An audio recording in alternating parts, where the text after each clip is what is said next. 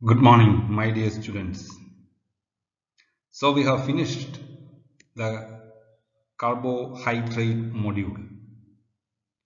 Now we are moving to another topic that is amino acids. It is a very simple topic and it is easy.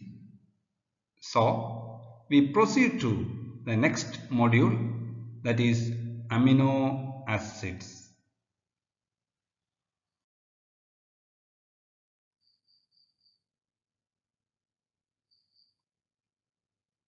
So we move to amino acids. We know in any organic compound if it contains a COOH group that is a carboxylic group it is called an organic acid. For example CH3COOH is acetic acid or it is a organic acid. Like that if any organic compound is having NH2 group NH2 group it is called a amine.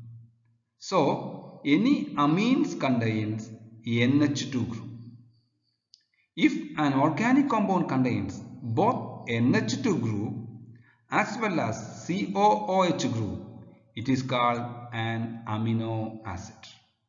So we could define amino acids are any organic molecule which contain a basic amino group that is a NH2 group and an acidic carboxylic group that is COH group.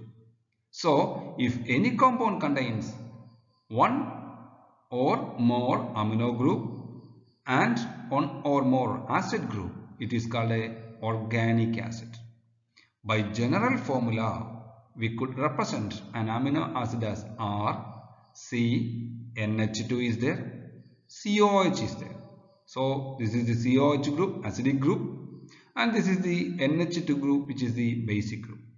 So any organic compound which contains both NH2 group as well as COH group are called amino acids. And we know in our biological systems these amino acids play important role for biological reactions.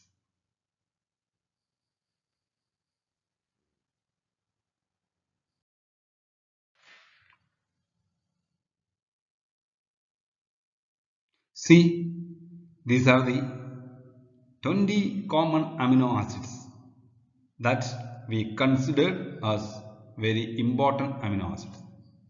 They are, see here, one by one we have the alanine, glycine, isoleucine, leucine, proline, valine, histidine, glutamine, etc. See, these are the important 20 acids. So this chart shows which is aliphatic, which is aromatic, which is acidic or which is basic, etc.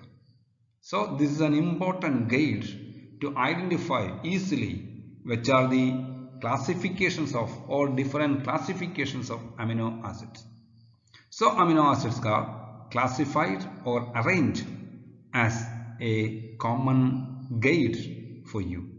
Take down.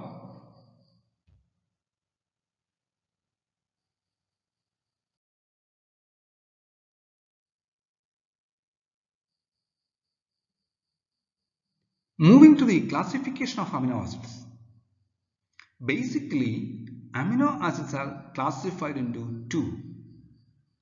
They are essential amino acids and non-essential amino acids. Some of the amino acids are synthesized by the body while some of the amino acids are to be supplied to the body. So, depending upon the amino acids synthesized by the body, they are classified into two. They are essential amino acids and non-essential amino acids. See here, amino acids are classified into two. They are essential and non-essential amino acids. essential amino acids cannot be made by the body or synthesized by the body. That means this we have to supply from the food. The body will not synthesize these amino acids. So we have to supply the, um, these amino acids through food materials. They are histidine, isoleucine, leucine, lysine, etc. These are the examples for essential amino acids. Then what are non-essential amino acids? That we need not supply, but our body will produce. So the body will automatically produce these essential, so these amino acids reason for our biological process. And they are called non-essential amino acids. Examples are alanine, arginine, asparagine, etc. See, this is an important question. Distinguish between essential and non-essential amino acids and give examples. So, nine essential amino acids that our body cannot be synthesized but to be supplied through diet are histidine, isoleucine, leucine, lysine, methionine, phenylalanine, threonine, tryptophan and valine. Take down.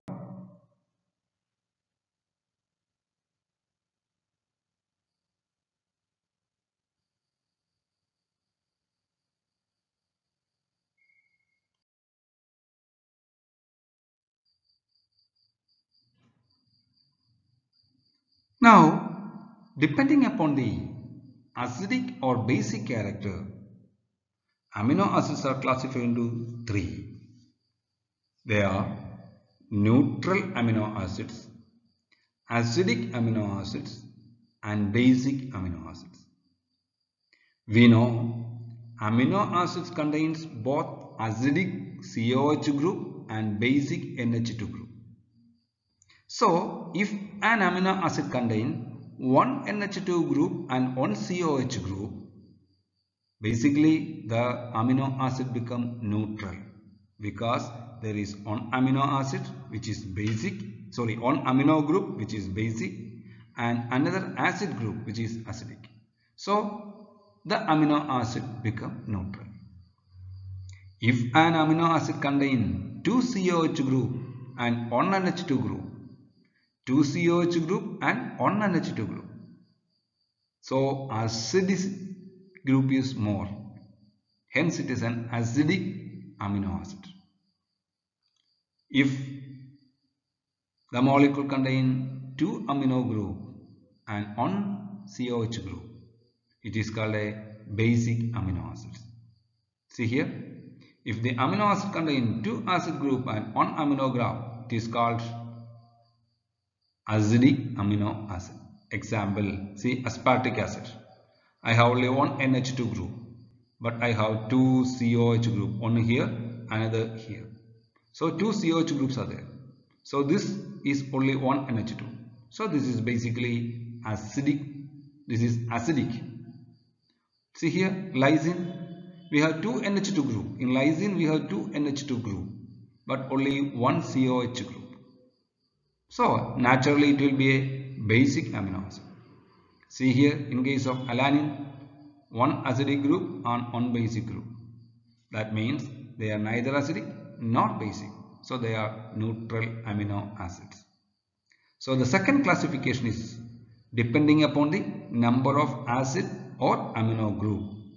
They are classified into acidic amino acid having more number of acid group basic amino acid having more number of basic group and neutral amino acid.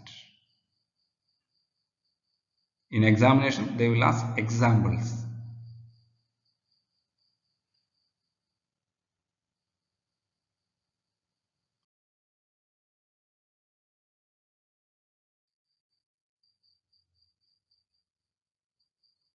Now we move to the preparation of amino acid. Preparation of amino acids. See, amino acid could be prepared simply, easily by nucleophilic substitution reactions of alpha halo acids. If I take an alpha halo acid and treating with ammonium carbonate or ammonium hydroxide. This is a alpha halo acid. I have a COH group here. This is the alpha carbon atom, first carbon atom. There we have a chlorine atom, chlorine atom. So when an alpha halo acid is treated with ammonium carbonate or ammonium hydroxide, this Cl will be eliminated out and NH2 group will be attached there. So we'll get NH2, CH2, COOH. So the first method of preparation is by treating alpha halo acid with ammonium hydroxide or ammonium carbonate. This is the first method of preparation for any alpha amino acids. Take down. The second method is Strecker synthesis. Very important. Strecker synthesis. What is Strecker synthesis? In Strecker synthesis, we will take an aldehyde and we treat with ammonia so that we will get a imine. In the first step, we take an aldehyde, we treat with ammonia so that we will get a imine. So then we use HCN or NaCN so that the cyanide minus ion, Cn minus ion attacks the protonated imine. So the resulting aminonitrile is hydrolyzed to form the acid. See here, I have an aldehyde here. I will treat this aldehyde with ammonia so that I will get a imine. Then I will treat with HCN so that I will get a nitrile. See here, this carbon atom is having C triple bond N and this carbon atom is having NH2. So this is C double bond O aldehyde carbon atom. That aldehyde carbon atom first react with C double bond O to form NH which again react with HCN to form CH3, CNH2, CNH. Any cyanide on hydrolysis in the third step we will carry out hydrolysis so that we will get the acid group there. So we could simply say Strecker synthesis is the reaction by which an aldehyde is treated with ammonia and HCN followed by hydrolysis will give you an amino acid. This is an important reaction to obtain amino acid which is called Strecker synthesis. Very important. Take down.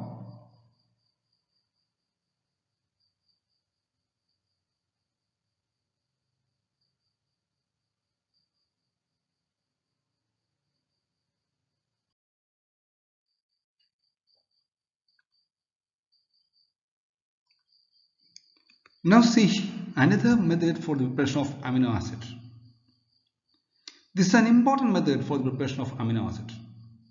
It is called Gabriel's phthalimide synthesis. Gabriel's phthalimide synthesis. See here we are taking potassium phthalimide. This is potassium phthalimide. The derivative of phthalic acid. Potassium phthalimide. So phthalic acid derivative. And we treat with a halo ester. So we could treat with any halo ester here. So that the halogens and K of potassium phthalimide, the halogen and Cl, so uh, K of the potassium phthalimide undergo reaction so that the ester gets added to the phthalimide. So we get a ester added phthalimide. This on hydrolysis will give you phthalic acids and amino acids. Here I have a alpha halo ester so that I will get a glycine. So depending upon the ester that we are taking with the corresponding amino acid we will get. So in Gabriel's phthalimide reaction, the reaction is very simple. We take potassium phthalimide, treat with haloesters and subsequent hydrolysis using acid or base will give you the corresponding as amino acid and phthalic acid. So this method is very easy and very important. It is called Gabriel's phthalimide synthesis for amino acid.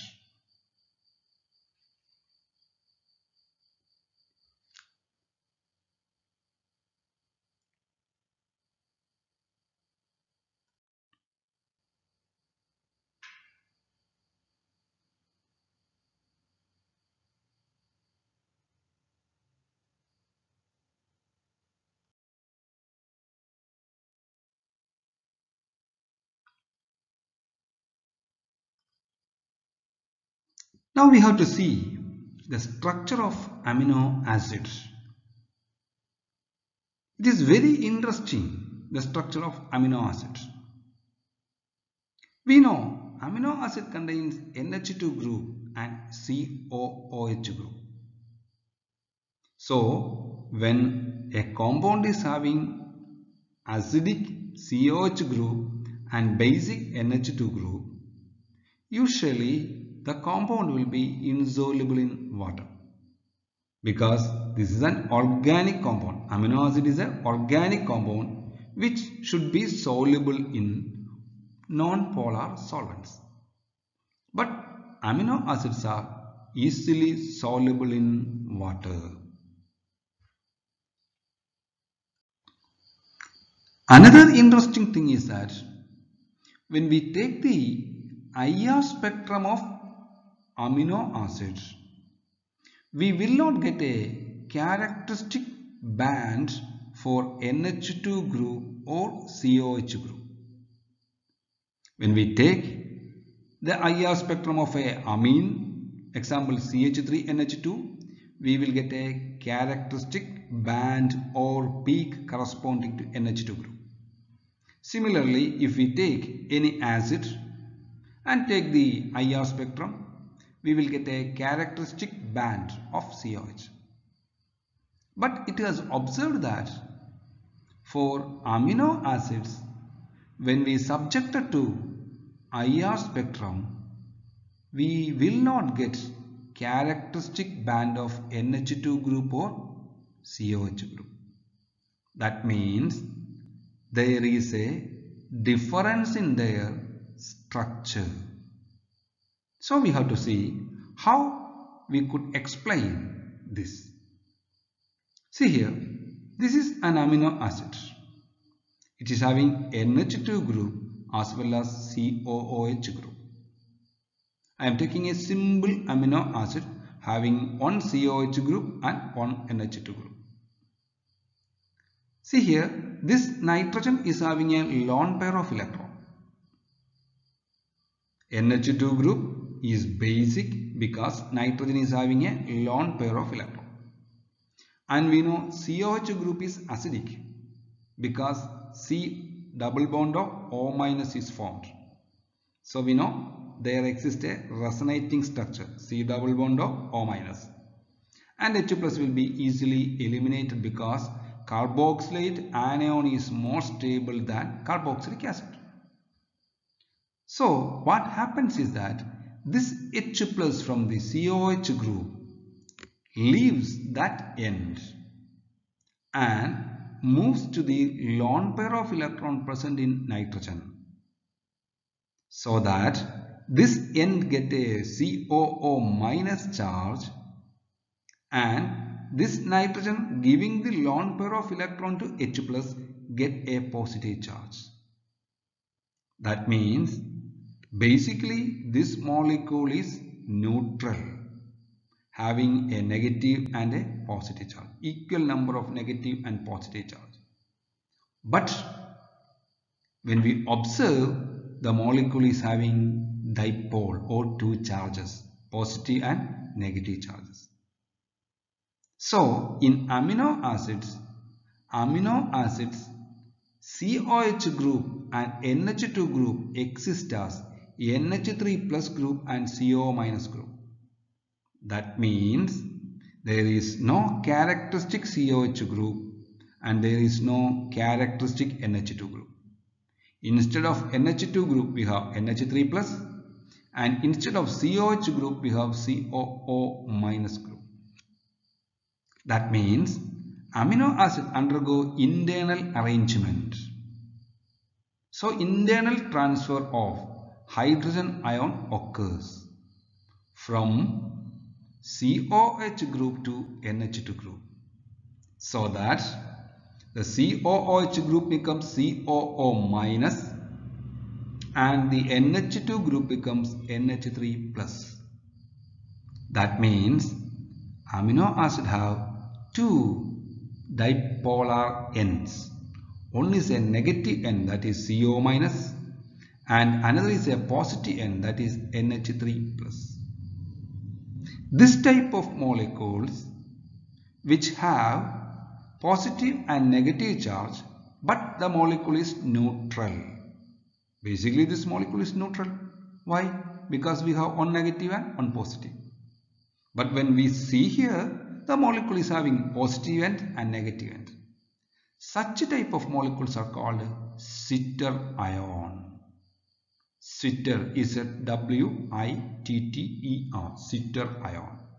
So we could say zwitter ions are molecules having positive and negative ends but the molecule is basically neutral or the net charge of the molecule is neutral.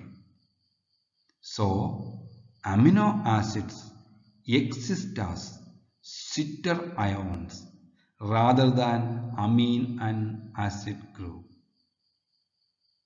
That is why we are not getting the characteristics peak of COH or NH2 group. You got the point? Very, very important. Take down.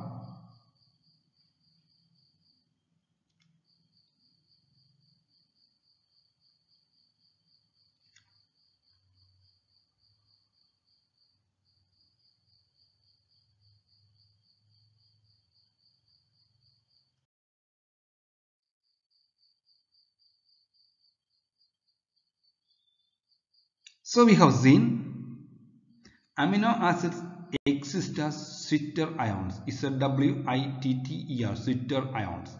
That means they have positive end and they have negative end but the molecule is neutral. Now see here this is a zwitter ion. If I am adding H plus ion see H plus ion what will happen this H plus ion will attract the O minus end so that I will get a COH group here. And the amino acid become positively charged. Or it becomes a cation. See here? We know when pH 7 it is neutral. This is pH 7 when I am adding acid acid means pH less than 7 base means pH greater than 7 so when I am adding H plus ion the excess of H plus ion from the acid attack the COO minus of the zwitter ion resulting the formation of a cation. That means in solution if I want the cationic form what should I do? I should add H plus ion so that I will get a positively charged ion. If I want negatively charged ion what will do? I will add base. Base OH minus ion. When I add OH minus ion, what will happen? This OH minus ion will abstract H plus from NH2. H plus from NH3, NH3 plus. So that I will get a anion. Anion.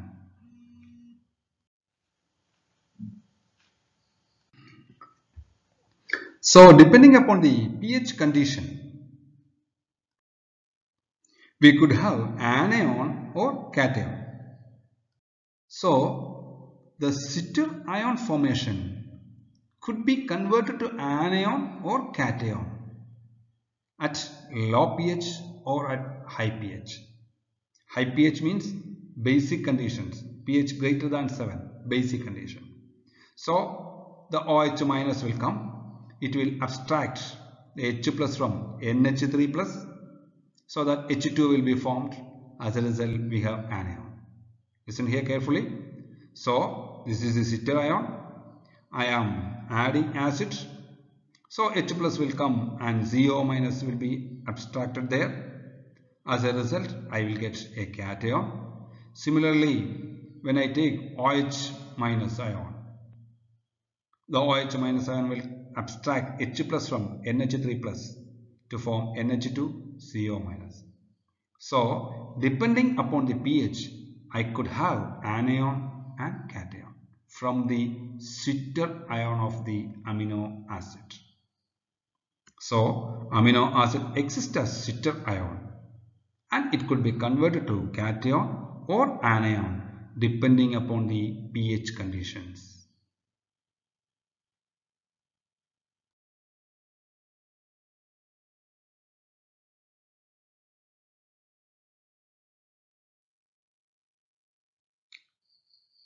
So, my dear students, thank you for another session being with you. Prepare the notes from the Moodle and prepare for the examination. So, we meet again next Thursday. Till then, bye, stay safe, see you. Thank you.